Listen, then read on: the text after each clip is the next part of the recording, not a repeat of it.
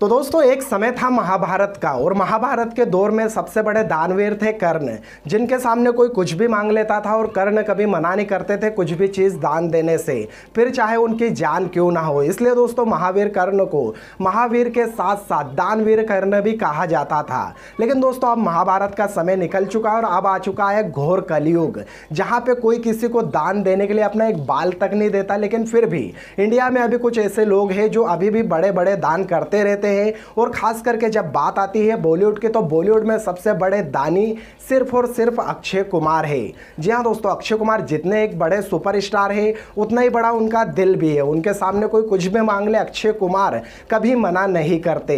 जैसे कि आप सबको याद होगा कि जब पद्मावत और पेडमैन दोनों फ़िल्में एक साथ रिलीज़ होने वाली थी, जब हाथ जोड़कर संजय लीला भंसाली ने अक्षय कुमार से रिक्वेस्ट की कि अपनी पेडमैन फ़िल्म को वो आगे बढ़ा ले और उनकी फ़िल्म पद्मावत को सोलो रिलीज़ हो जाने दे। जब अक्षय कुमार ने दरिया दिली दिखाई और अपने पेडमैन की रिलीज़ डेट बदल दी और पद्मावत को सोलो रिलीज़ होने दिया।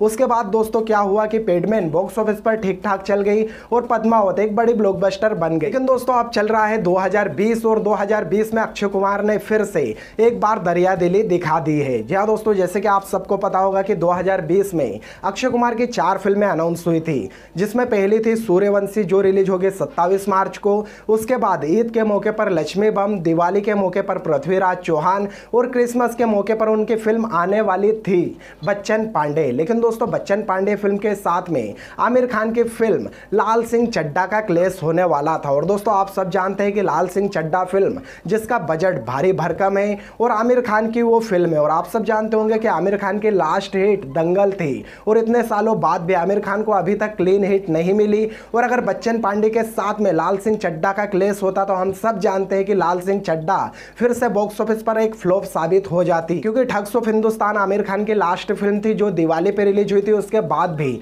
फ्लॉप साबित रही थी। लेकिन अगर लाल सिंह चड्डा अक्षय कुमार जैसे एक बड़े सुपरस्टार के साथ में क्लेश करते तो हम सब जानते हैं कि लाल सिंह चड्डा की क्या बुरी हालत होती।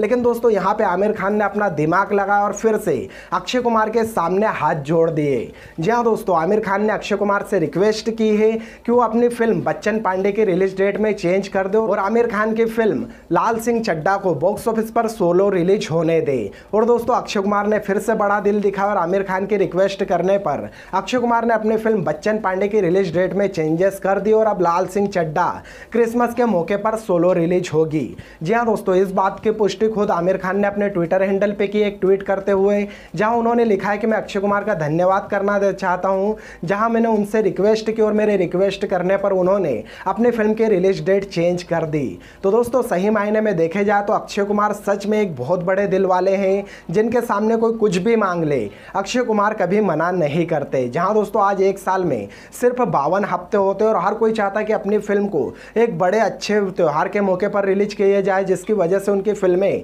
बॉक्स ऑफ़िस पर एक बड़ा कलेक्शन कर ले।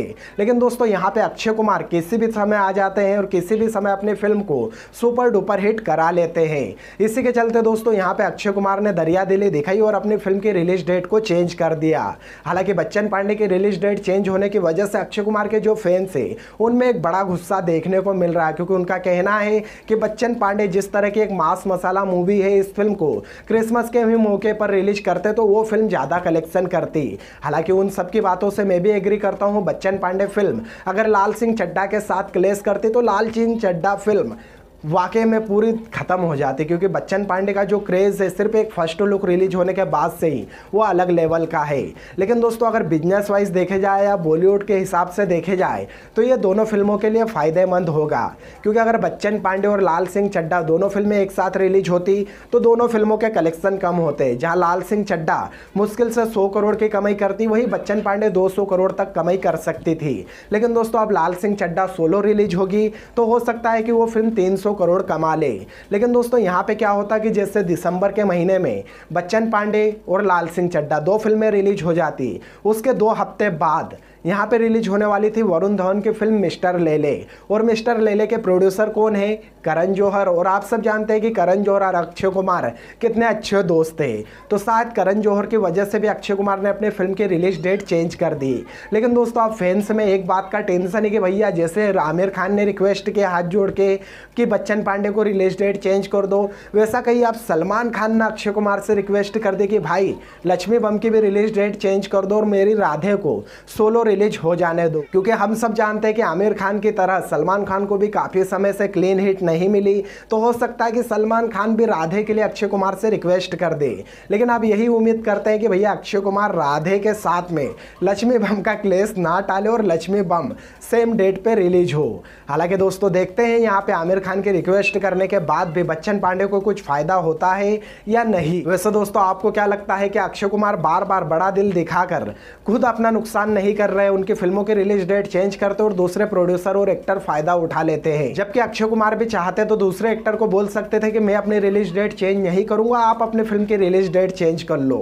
आपकी क्या राय है दोस्तों? आपको क्या लगता है कि अक्षय कुमार को ये दरिया दिली वाली चीज़ें बंद कर देना चाहिए या फिर ऐसे ही दूसरों के भीख मांगने पर अपनी फ़िल्मों की रिलीज़ डेट चेंज करते रहना चाहिए। अपनी राय आप मुझे कमेंट बॉक्स में कमेंट करके ज़रूर बताएँ। चैनल को सब्सक्राइब करें और मुझे इंस्टाग्राम पे ज़रूर फॉलो करें। मैं मिलता हूँ आपसे अगले वीडियो में। जब तक के लिए ख्याल रखें अपना और अपने माता पिता का। जय हिंद, वंदे मातरम।